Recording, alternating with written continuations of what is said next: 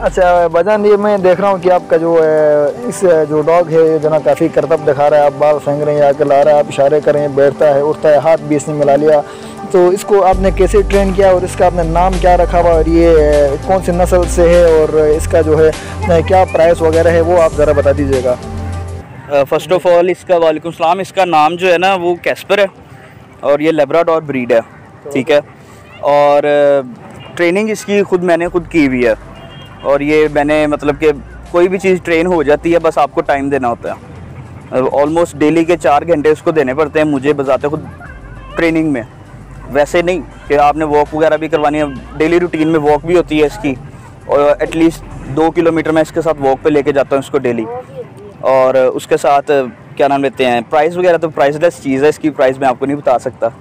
नहीं नहीं मतलब होता है ना कि बहुत से लोग इसके शौकीन होते हैं तो यानी अभी आपने खरीदी है ना आपने ये खरीदा है ना तो ये, ये कितना नौ दिन का था तब से मेरे पास है। नौ दिन का था ये तब से मेरे पास है और ये एज अ गिफ्ट आया था।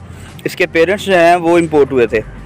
सही सही सही। तो ये नौ दिन का था ये तब से मेरे पास है और इस टाइम इसकी एज हो गई है। तो आज तकरीबन थर्टी फ़र्स्ट है ठीक है तो ये दो साल और उन्नीस दिन। तो इसको आप सिक्योरिटी पर्पज के लिए इस्तेमाल करते हैं नहीं ये फैमिली ब्रीड है इसको घर में रख सकते हैं आप। सिक्योरिटी पर्पज़ के लिए ये है कि अब घर के जितने भी लोग हैं उनको आवना हो जाती है इसके साथ कि ये टाइम गुजार लेते हैं उनके साथ। अदरवाइज़ बाहर से अगर कोई बाइक वगैरह डोर पे अगर डोर नॉक भी होता है ना और उसको पता है कि घर के अंदर वाले जितने भी हैं वो घर में है और डोर नॉक हो रहा है तब ये फिर बाकिंग भी करता है। काटने वाली ब्रीड नहीं है ये। अच्छा तो मतलब ये लोगों को नहीं काटता जब सर आपने इसको रखा हुआ तो नुकसान नहीं देता? ये बिल्कुल भी नुकसान देगा। ये वाहिद ब्रीड है लेब्राडोर दुनिया की वाहिद ब्रीड है जिसके जीन में मैं तो ये कहता हूँ कि इनके जीन में काटना नहीं है क्योंकि ये काटते नहीं हैं।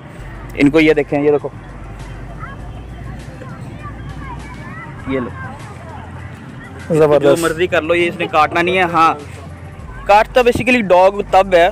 हम लोग कहते हैं कि डॉग ने काट लिया आपको जब भी कोई चीज़ डॉग की काटने के एक ब्रीड है ये।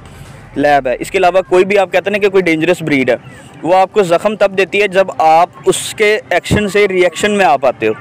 ये एक्ट करेगा कि आपको इसने इस तरह बाइट किया। आपको कभी भी जब भी कोई डॉग का काटा हुआ इंसान नज़र आएगा ना उसके खराशे होंगी उसके स्किन कटी होगी कट लगा होता है उसके दांतों का निशान दुबा हुआ नहीं होता क्योंकि ये डॉग्स जो होते हैं ये मिथ बनी हुई है यहाँ पे लोगों को कि यार ये डॉग ने काटा है इंजेक्शन लगवाने हैं।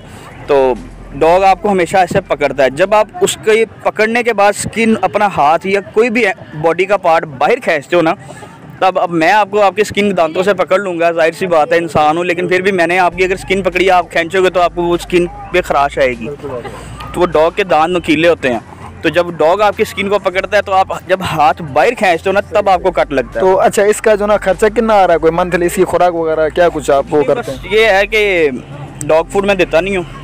रॉफ जो होता है ना, अपने घर में खुद इसकी फ़ीड बनाता हूँ मैं। और फ़ीड इसको मैं तकरीबन जब एक साल का था, तब मैं इसको तब तक मैं इसको देता रहा हूँ दो से तीन टाइम लेकिन अब जो है, बड़ा हो गया, अब इसको एक टाइम देता हूँ ऑलमोस्ट टू एंड हाफ़ के जी एक टाइम इसकी फ़ीड है। ठीक है? उसमें आपका मटन होता है बीफ होता है, और उसके साथ चिकन भी होता है। और उसके साथ इसको घर की सब्ज़ियाँ भी बहुत ज़्यादा शौक से खाता है हर किस्म की सब्ज़ी खाता है। अगर कोई ये रखना चाहिए वाली जो नस्ल की जो डॉग है तो कितना कोई खर्चा आएगा मंथली उसका जो ऑलमोस्ट लगा लो कि पंद्रह के हज़ार रुपया खर्चा है इसका। अगर आपने मतलब कि यहाँ पर ज़्यादातर पाकिस्तान में फ़ीड देते हैं बड़े गोश्त की सीरी का कीमा। वो काफ़ी सस्ता मिल जाता है मार्केट से। टलिंटन मार्केट से मिल जाता है दो ढाई सौ रुपये किलो के हिसाब से बड़े गोश्त की सीरी का कीमा।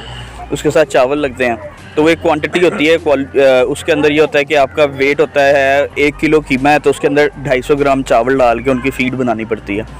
तो जी बहुत शुक्रिया बहुत शुक्रिया सर। ये नाजरीन आपने देखा कि ये एक इस तरह के नस्ल का उन्होंने डाक रखा हुआ जो कि नुकसानदेह भी नहीं है ना वो किसी को काटेगा ना वो किसी को हार्म करेगा यानी जिनका शौक है डॉग्स पालने का तो इस नस्ल के जो कुत्ते हैं उसको रख सकते हैं। बहुत शुक्रिया सर वो देखें आप हर बंदे के साथ इस टाइम नॉर्मल है उसका कोई रिएक्शन नहीं है वो हर बंदे के साथ खेल रहा है यहाँ पे पंद्रह बंदे और आ जाएँगे ये उनके साथ भी इंगेज हो जाएगा क्योंकि एक तरह से कह दो कि टॉय ब्रीड है फैमिली ब्रीड है इनको काटना नहीं सिखाया जाता। इनको ट्रेनिंग में आप ले जाओ स्निफर होते हैं बेसिकली ये डॉग आर्मी के पास ये वाले डॉग होते हैं स्निफिंग के लिए क्योंकि इनकी सेंस जो होती है ना स्निफिंग की वो इनकी क्वालिटी है। तो उस हिसाब से रखा हुआ है मैंने तो बस शौक रखा हुआ है। हाँ, तो नहीं इसको आप ब्रीड कर रहे हैं ब्रीडिंग करवा रहे हैं इसकी ब्रीड देता हूँ अलहमदिल्ला मैं इसकी ब्रीड जो है ना वो इसका स्टड देता हूँ।